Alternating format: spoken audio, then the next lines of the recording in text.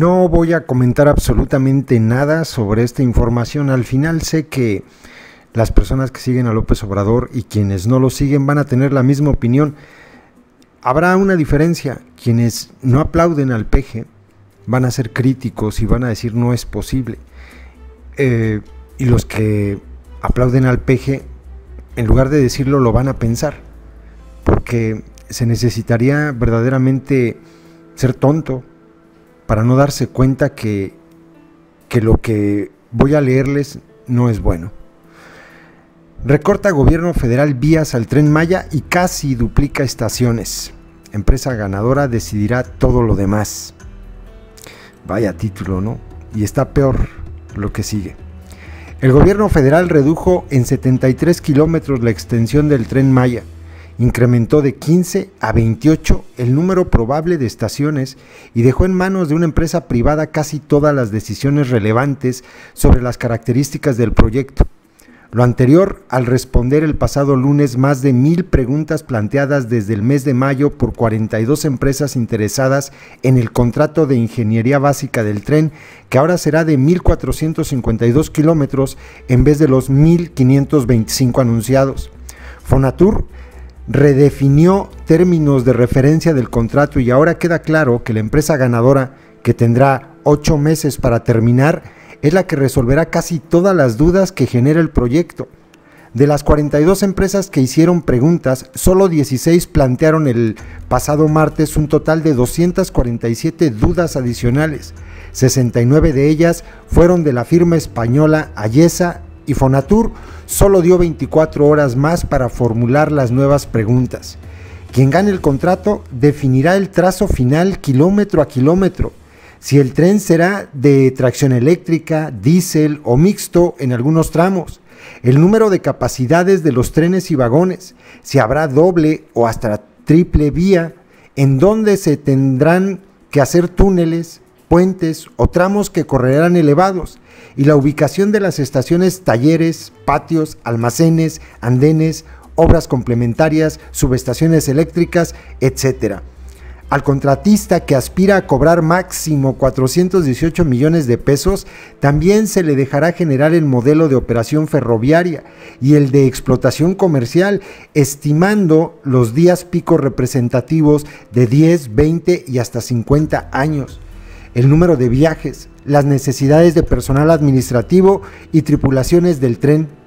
Respecto a la velocidad promedio que el gobierno quiere en 160 kilómetros por hora, se aclaró que solo lo será para la parte, para el tren de pasajeros, no el de carga, pero que podrá ser todo lo menor que sea necesario en zonas puntuales si los condicionantes existentes lo justifican el uso o no de 660 kilómetros de vías existentes del ferrocarril.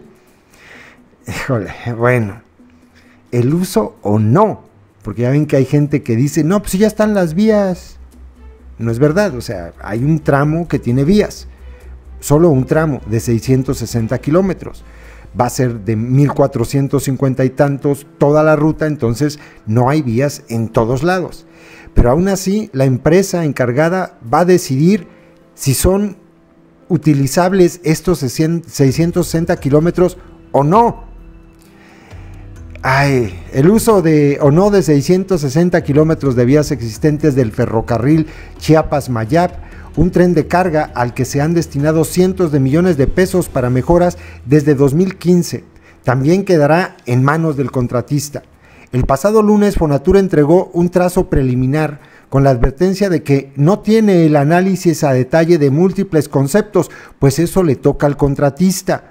Estos incluyen tipo de suelo, zonas inundables, presencia de cuevas o cenotes, topografía, flora y fauna, zonas arqueológicas, dinámica social y cultural de cada comunidad, derechos de vía, interferencia con toda clase de infraestructuras, ductos de Pemex, líneas de CFE y Telmex, tubos de agua, cruces con senderos o caminos.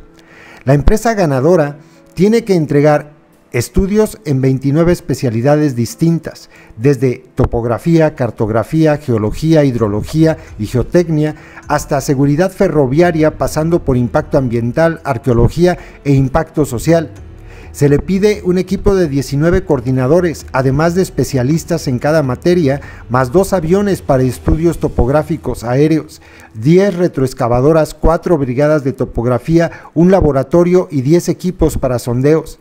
La ingeniería básica que sería entregada en el segundo trimestre, trimestre de 2020 es el comienzo. Serán necesarias licitaciones para los proyectos de inversión mixta de cada uno de los siete tramos del tren y también se tendrán que hacer los planes para los edificios de las estaciones, pues no están incluidos en este contrato. Eh, pues podría decir mucho, pero ¿para qué? No tiene caso, es, es seguir hablando sobre lo pésimo que va a ser todo esto y pues sé que aunque la gente que aplaude a López Obrador al leer o al escuchar esto o al enterarse de esto, pues piensa igual que cualquiera de nosotros, ¿no? La diferencia es que la gente que es consciente del desmadre que va a ser esto, lo externa. Eh, los pejes ellos no pueden externarlo porque sería ir contra los designios de su patrón. Entonces no pueden decir nada. Pero pues es muy grave, ¿no? Todos los puntos que aquí se destacan, todos son muy graves, todos. Coméntenme ustedes aquí, dejen en los comentarios qué opinan de todos estos detalles que no sabíamos, ¿no? Hasta apenas la nota es de, del día de hoy, apenas hace dos días que se supo de todo esto. Es una tristeza, en serio, es una tristeza. Duplicaron el número de estaciones. En fin, alrededor de estas estaciones, que ya no van a ser 15, sino 28, pues va a haber núcleos sociales, donde no había nada, donde había selva, por ejemplo. Ahí se los dejo.